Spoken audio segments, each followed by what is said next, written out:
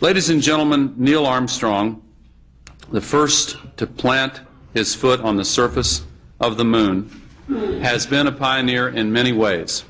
And Mr. Armstrong, in asking you to come to the podium, may I say that millions of Americans have admired you not only for your achievement, but for the quiet dignity with which you have conducted yourself and represented not only our country, but humankind.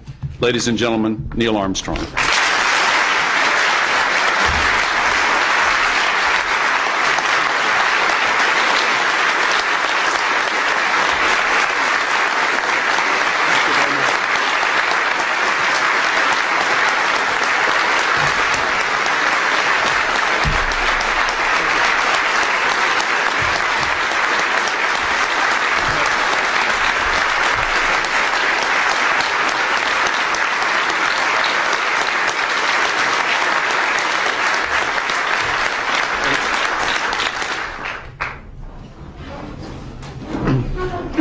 Thank you, Mr.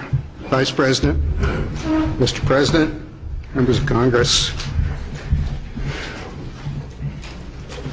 fellow astronauts, ladies and gentlemen.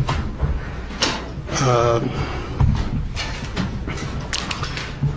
Wilbur Wright once noted that the only bird that could talk was the parrot, and he didn't fly very well.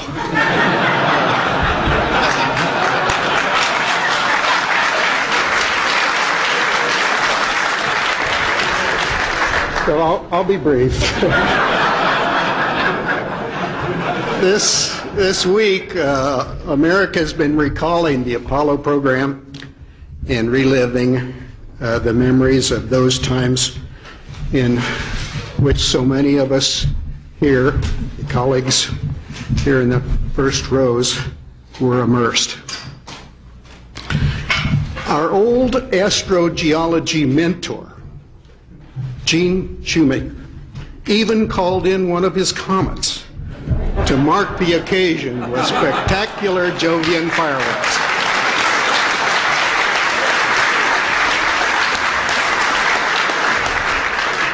And reminding us once again of the power and consequence of celestial extracurricular activities. Many Americans were part of Apollo, about one or two in each thousand citizens all across the country. They were asked by their country to do the impossible, to envisage, to design, and to build a method of breaking the bonds of Earth's gravity, and then sally forth and visit another heavenly body. The principal elements leaving Earth, navigating in space, and descending to a planet unencumbered with runways and traffic controls would include the major requirements necessary for a spacefaring people. Today, a space shuttle flies overhead with an international crew. A number of countries have international space programs.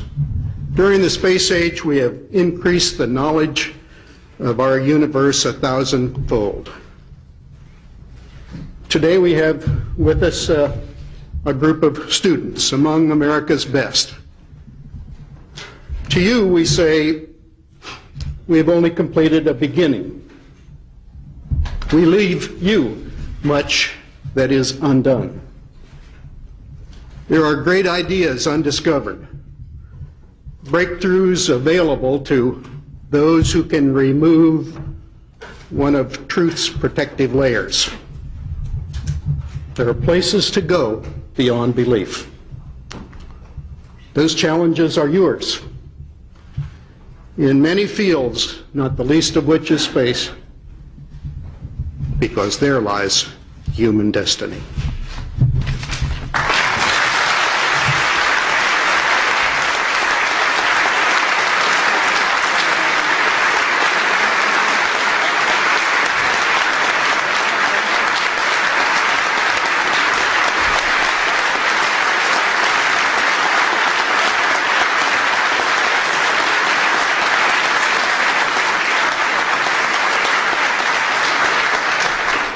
Ladies and gentlemen, the President of the United States. Just a day before he died, President Kennedy compared our space program to a boy who comes upon a wall in an orchard.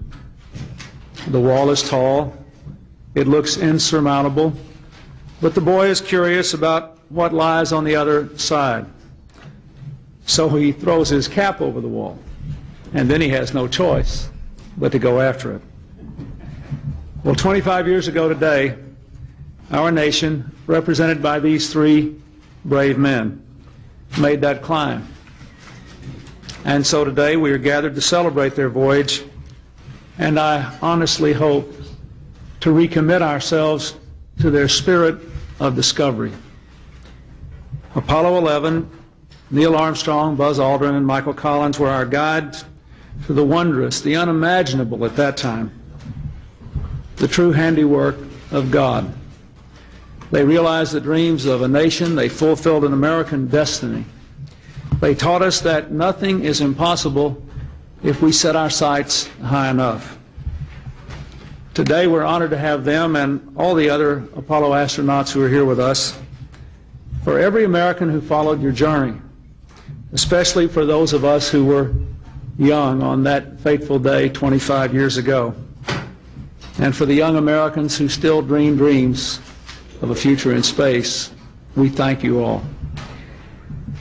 Looking back on that mission, one thing is clear that we ought to remember today. It wasn't easy. The ship to the heavens measured just 13 feet in diameter. The destination was three days and a world away. On the third day, as the tiny module descended to the moon, it came dangerously close to a crash landing. That happens around here all the time. but Neil Armstrong took over the controls from the computer and landed safely. Man had not been rendered obsolete by the mechanical, and that hasn't happened yet. Not long after that, when he stepped on the moon, Mr. Armstrong marked the outer limit of the human experiment with those simple words one small step for man, one giant leap for mankind.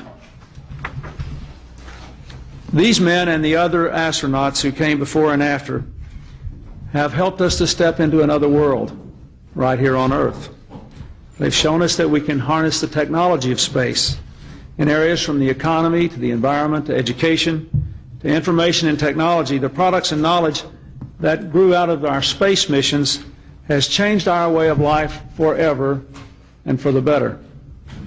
And in our quest, we have relearned a sense of confidence that has always been an essential ingredient of our American dream. Today, that journey continues. Our commitment to the space program is strong and unwavering. The best way to honor these men and all the others who have helped us so much